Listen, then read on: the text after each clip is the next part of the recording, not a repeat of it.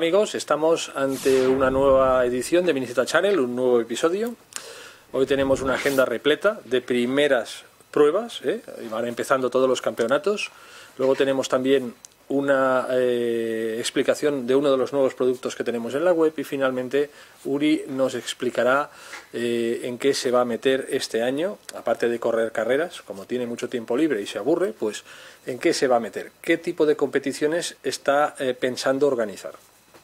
Antes de pasar a la primera sección, os quiero recordar que, como bien sabéis, presentamos un nuevo producto, el Miniceta VR Racing, un videojuego pensado para teléfonos Android de realidad virtual y eh, los que nos seguís sabéis que es un proceso de creación de este videojuego que hemos eh, diseñado a través de una plataforma de crowdfunding. Os lo digo porque vemos que está muy parado el crowdfunding. Algunos de vosotros rápidamente os interesáis en el producto, eh, gente que ya sabemos que sois muy activos, que bueno, tanto en Miniceta como en otras categorías del radio control, pues vais rápidamente a las novedades y bueno, pues eh, mostráis vuestro interés, pero después hay muchísima gente que también ha mostrado interés, pero en cambio pues no se han decidido aún todavía por ninguna de las opciones de compra del videojuego y nos gustaría saber por qué. Si es que no acabáis de entender el producto, si es que tenéis alguna duda, si es que no os acaba de convencer o no os gustan los videojuegos. Mm, utilizar los comentarios de este vídeo, por favor, para explicarnos un poco cuál es vuestra sensación, cuáles son las dudas que tengáis o la información que nos queráis facilitar. Será, eh, os lo agradeceremos mucho para saber un poco pues eh, cómo va este tema. Vamos ya con la primera sección de nuestro episodio de hoy, con la agenda. Vamos a revisar las tres competiciones que tenemos para este fin de semana. Como veis ya tengo mi miniceta preparado y es que el primer evento para este fin de semana se va a disputar el viernes día 23 de febrero en las instalaciones del Club AMCI-Z en Igualada. Es ni más ni menos la primera prueba del Campeonato Interclubs de Mini Z que se disputa en Cataluña este año 2018. Ya os pasaremos el calendario completo, hay más pruebas que nunca, porque hay circuitos que repiten, AMCI-Z o Mataró, por ejemplo, tienen doble circuito, tienen circuito de FOAM, circuito de Moqueta, Además, entra también a formar parte del campeonato el circuito de Montjuic, eh, unas instalaciones espectaculares que ya os enseñaremos porque además ahora mismo la están eh, la están renovando, la están ampliando y bueno, eh, nuestro amigo Perico se está haciendo una currada en el circuito, o sea que ya os haremos un reportaje antes de la carrera que les toque para que la gente conozca la pista y los que queráis podáis ir allí a entrenar un poco antes, os lo recomiendo. Circuito espectacular, muy divertido pero que obliga a tener muy buenos reflejos. Bien, eh, primera prueba, como he dicho, pues para este viernes, día 23, eh, Amciceta, primera prueba del Cataluña, del eh, Interclubs Cataluña de Miniceta. El segundo evento para este fin de semana también es en Cataluña, en concreto en Barcelona, organizado por AMSA en el circuito que tienen en el NUS de la Trinidad, y se trata de la primera prueba también del Campeonato de Cataluña de Touring Eléctrico del CCTE Sabéis que eh, se disputan dos categorías, Touring eléctrico stock, escala 1.10, y Pro 10, barquetas, flechas voladoras que van tracción trasera. Pues bien, van a disputar carreras el domingo día 25, el, sábado día 24 habrá entrenos para los que se hayan apuntado a la carrera. La inscripción sigue abierta, hay más de 40 inscritos, eh, es el campeonato que tiene más éxito, súper espectacular, con lo cual eh, pues sábado y domingo estarán corriendo allí. Y finalmente, para este fin de semana hay un evento más a disputar en domingo, eh, pero no voy a ser yo quien os lo diga, va a ser Uri quien nos va a presentar este evento. Os dejo con él. Hola chicos, bueno, la última noticia de hoy eh, os la comentaré yo. El último evento, el último evento de esta agenda para el fin de semana, eh, no es otro que la primera carrera del campeonato de short course eh, que a partir de este año es el USC, en Vallalta, además. Eh, los chicos de Vallalta que estrenan circuito han hecho una remodelación, eh, pues están haciendo de hecho una remodelación de circuito completa, o sea, ha pasado una excavadora y han empezado de nuevo. están haciendo una faena increíble y en principio, si el tiempo lo permite, que creemos que sí, pero bueno, estamos ahí un poco así así, este fin de semana será la primera carrera del campeonato en Vallalta.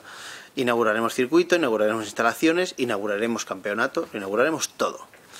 Eh, como os digo, eh, normas muy parecidas a las que ya teníamos. En principio no hay ningún cambio significativo en cuanto a carrocerías, eh, categorías, tipo de neumático, etcétera, etcétera. ¿vale?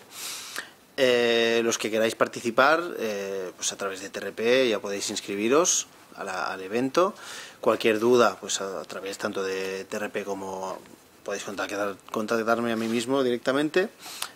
pues nos preguntáis lo que queráis y os haremos cualquier tipo de aclaración tanto como si queréis uniros al grupo que tenemos eh, de pilotos de short course de este campeonato USC que estrenamos este año eh, para que pues si tenéis un short course y queréis venir a correr o no lo tenéis aún pero queréis venir y ver de qué va el tema y engancharos al tema pues ya sabéis que sin ningún problema. Ya os digo a través de TRP o a través mío directamente nos pedís información.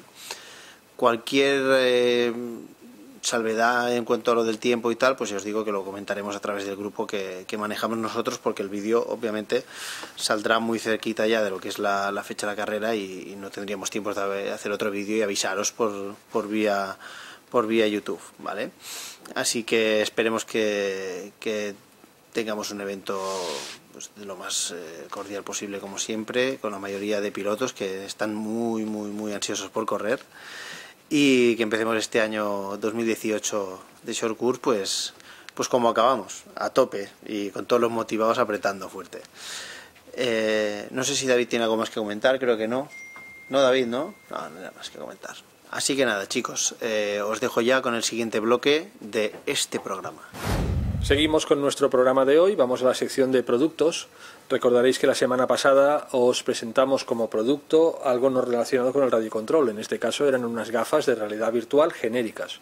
Se podían usar, se podían utilizar con cualquier teléfono, sea Android o sea iOS de Apple, porque no tienen no se conectan a, las gafas, sino que simplemente se pone el teléfono delante, se baja la aplicación, la película, el vídeo 360, lo que queramos ver, y las propias gafas lo que hacen es sostener el teléfono y ayudarnos a enfocar.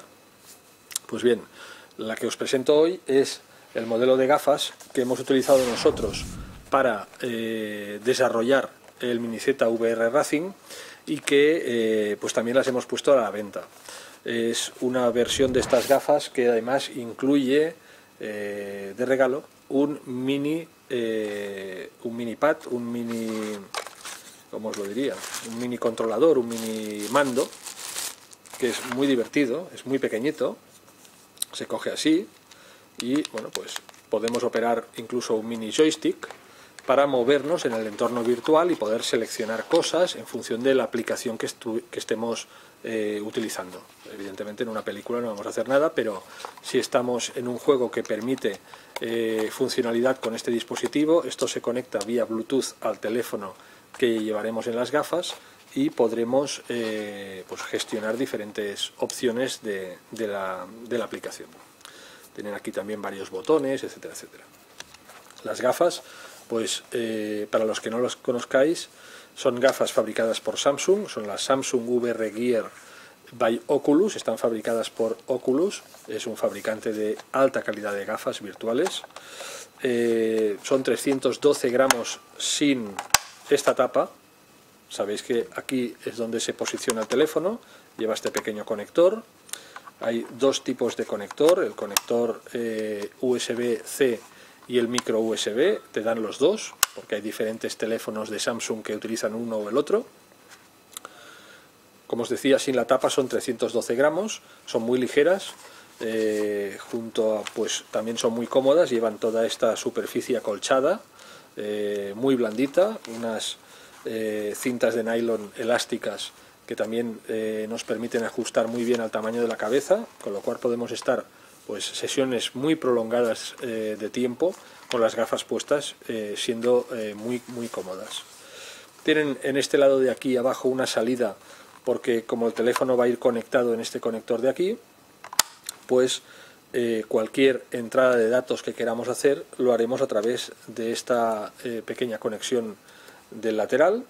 Tienen un touchpad lateral que también nos permitirá, pues si no queremos utilizar este dispositivo, movernos en el entorno en el que estemos, en la aplicación o en el, juego que estemos eh, a través del touchpad, botón de selección, botón de atrás y estos dos botones de aquí que nos hacen subir o bajar el volumen del teléfono que tenemos conectado. El listado de teléfonos eh, que son compatibles con estas gafas son teléfonos de Samsung, pues eh, incluye el Samsung Galaxy eh, S7, el S7 Edge, el Note 5, el S6, el S6 Edge y el S6 Edge Plus. Y como advertencia ya os informamos de que el Galaxy 7 Note no es compatible con estas gafas. Eso los que tengáis este teléfono sabed que no las podréis utilizar. Finalmente me queda destacar que estas gafas tienen un ángulo de visión un poco más amplio que las otras que tenemos en la web. Si recordáis, las que os enseñamos genéricas tenían un ángulo de visión alrededor de los 91-92 grados, si no recuerdo mal. Estas están en 101-102 grados. Digamos que la amplitud eh, de imagen es un poco mayor en estas gafas. Vemos un poco más de campo visual. Y destacar también, eh, finalmente, que eh, estas gafas llevan más tecnología. Llevan una serie de sensores internos, llevan sensor acelerómetro, llevan giróscopo incorporado y además llevan sensor de proximidad. Cuando te pones las gafas, activan el teléfono y cuando te sacas las gafas apagan el teléfono para que no esté gastando eh, sin que nadie las utilice.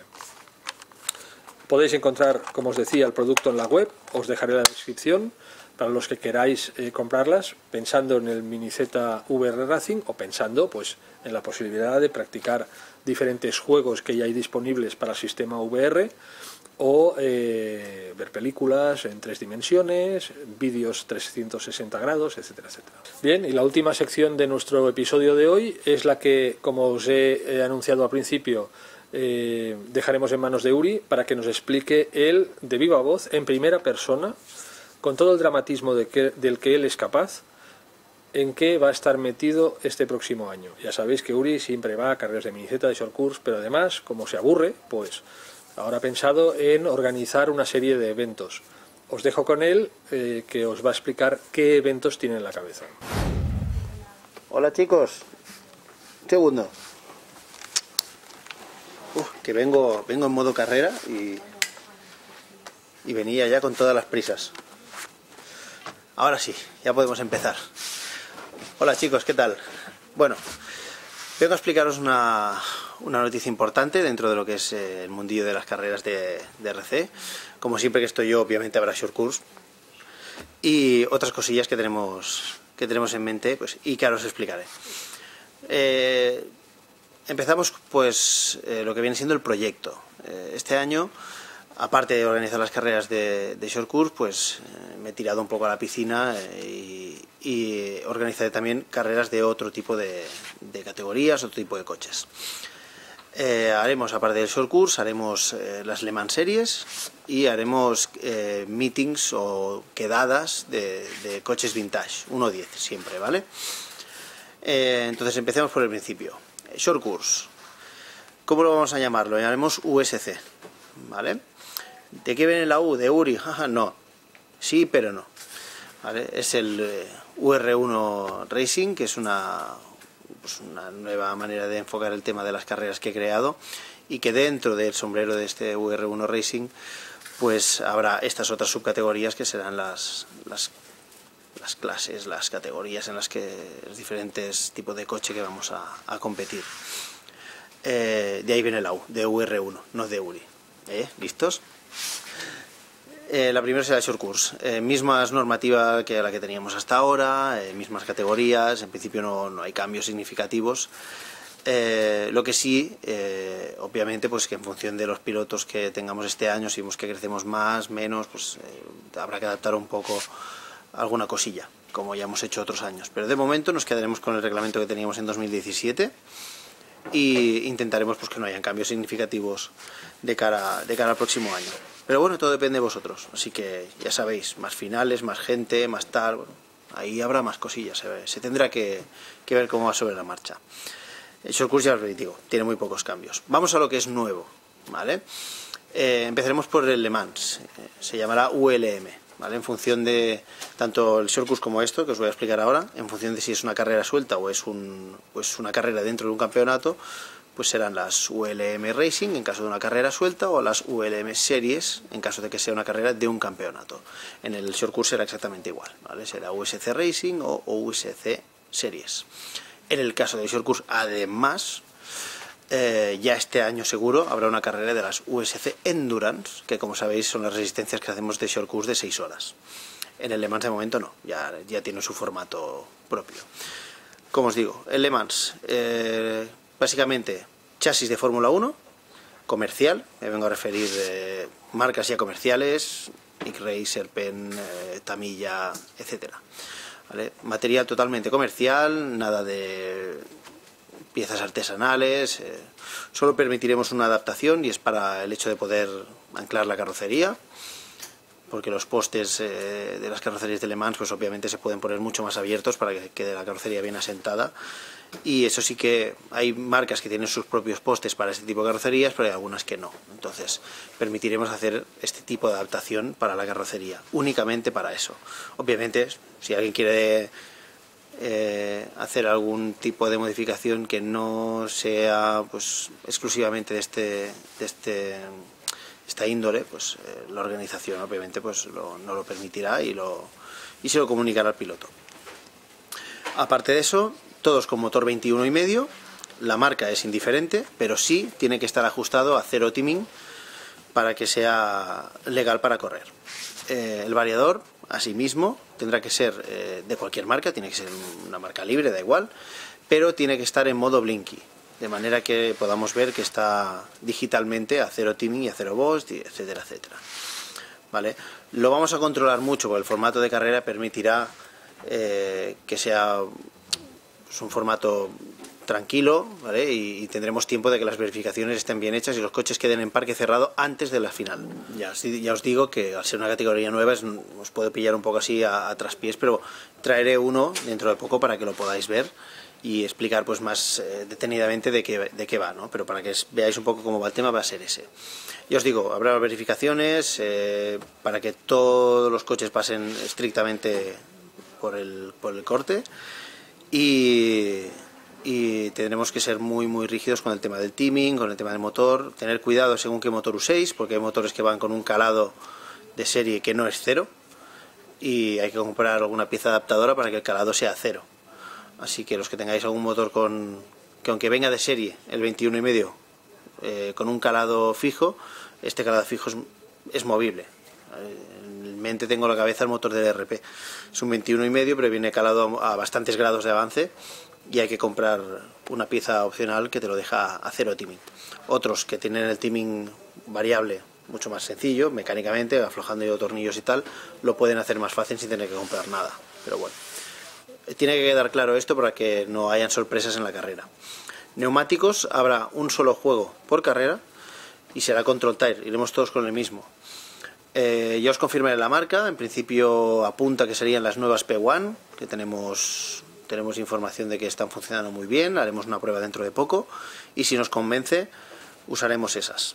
En, tanto en Orient Express como otras tiendas aquí de la zona se pueden adquirir sin ningún tipo de problema. ¿Por qué este tipo de neumático? Estamos buscando una rueda que nos dure bastante porque el formato de carrera será largo. No en cuanto a qualis, pero sí en cuanto a la final.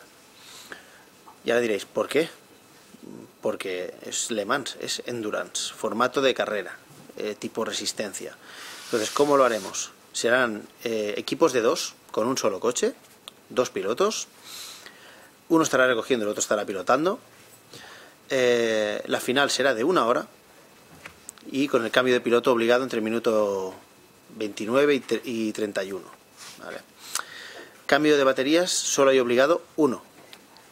Eh, si cambias de batería dos o tres veces, eso ya es indiferente. Hay que quitar la carrocería para hacer el cambio de batería, como en todos, todas las categorías, etcétera, etcétera. El relevo de pilotos se hará en el puesto de recoge coches. Me explico. El piloto bajará, el coche habrá entrado en boxes, lo sacará de la pista cambiará la batería si es que la tiene que cambiar y irá a buscar a su compañero que estará en el sitio de recoge coches que le haya tocado. En el momento en que él llegue allí y toque algo que tengamos puesto allí, un cono o un algo, en ese momento el otro podrá irse. No queremos cruces en mitad de la pista, de yo voy viniendo y tú vas, no. Tiene que ser en el sitio. Los pilotos serán identificados para que se vea quién está corriendo y quién no, a quién le toca y a quién no.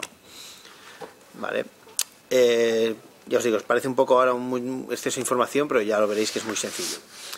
Este tipo de carrera, ya lo veréis que el, formato será de la final de una hora, como os he dicho, y las qualis serán de tres vueltas por piloto de cada grupo y luego tres vueltas del otro piloto de todos los, de todos los equipos igual. Así será la media de los dos pilotos. Cogeremos la mejor vuelta de cada uno de los pilotos de cada equipo y así eh, haremos la parrilla salida. Serán, ya os digo, tres vueltas por equipo y por piloto. O sea que será relativamente rápido, lo cual permitirá pues eso, que hayan verificaciones eh, bastante estrictas y que los coches queden en parque cerrado antes de empezar a, pues las finales, ¿no? Eh, es la primera vez que se hace, esta categoría. Eh, obviamente, imagino que tendréis preguntas. cualquier cosa en los comentarios nos las podéis poner e intentaremos contestarlas lo antes posible. Y si no, pues si tenéis mi contacto, me buscáis directamente y podéis preguntarme lo que queráis. Eh, y os digo, os traeré pronto un coche para que lo veáis y explicaremos pues un poco más eh, in situ lo que, lo que implica esta categoría. Es muy divertido, correr en fórmula, el que no, lo haya hecho, es muy divertido. Pese a llevar un motor 21 y medio que parece que no corra mucho, pues la verdad es que se disfrutan bastante este tipo de coches. Y ya os digo, en breve tendremos mucha más información y que, os pueda dar y, así pues os hagáis una idea más clara de lo que va a ser. sí que me han preguntado varios pilotos pues que están interesados y, parece que se van a apuntar al, tema, pero obviamente es normal que, pues, al principio hayan un poco de dudas acerca de algunos temas. Así que cualquier cosilla ya sabéis. Por último, nos vamos a las UVR, es Vintage Racer. ¿vale? Las, siglas vienen de, de los coches vintage. ¿Por qué hemos hecho esto? Pues como ahora hoy en día hay muchas marcas que han reeditado modelos, modelos vintage que a todos nos gustan, con la ventaja de que son mucho más resistentes o tienen materiales mucho más eh, duros que en su día, eh, pues podemos recrear lo que son estéticas antiguas de coches que tenían pues una estética muy bonita y con la tecnología actual. Entonces podemos pues hacer jornadas de, de pues de RC, de circuito, de no necesariamente circuitos, sino quedadas en otros sitios y tal, y revivir un poco pues lo que es eh, la pasión que tenemos por los coches y sobre todo por los vintage, ¿no? que siempre que siempre atraen. No dejarán de ser quedadas, ¿vale? Por eso le hemos puesto el nombre de VR Meetings, ¿vale? que serán más que nada concentraciones en circuitos o en sitios, no tiene por qué ser siempre un circuito, en los que rodar, eh, pues intercambiar opiniones, eh, ver un poco el friquismo que tenemos siempre en estas categorías, ¿no? de pues, los detalles, yo he pintado esto y le he puesto una rejillita y le he puesto tal, bueno. Más que nada es eso, es un poco más diversión fuera de lo que sería la, competición pura y dura, ¿no? Eh, ya os digo, coches de estos ya los habéis visto, como el Turbo Scorpion que os enseñó David, el mío propio. Hay otras marcas que también tienen sus coches vintage. Estamos hablando de 1.10 Buggy, eso sí, ¿vale? Estamos hablando de 1.10 TT, mm, Buggies, llamarlo como queráis.